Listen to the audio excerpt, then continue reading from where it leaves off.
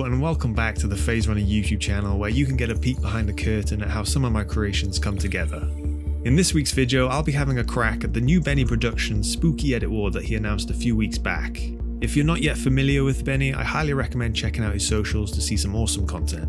The challenge was to create a spooky piece of artwork using only the assets he provided. So where to start? Well, being a huge fan of Stranger Things and it being some time since I created anything Hawkins related, I came up with an idea on how to manipulate these assets to create a Stranger Things-esque scene. From the get-go, I was looking for interesting ways to use the assets to create certain textures that would save me painting time. For example, when knocking out the whites of the moon, it left me with a cool grungy texture formed out of craters and shadows. And this would act as a nice starting point to help give the pumpkins that eerie, rotten kind of look. If you enjoyed this video, feel free to like and leave a comment, subscribe to the channel, then hit the bell to notify you about any new content. Okay, let's run it.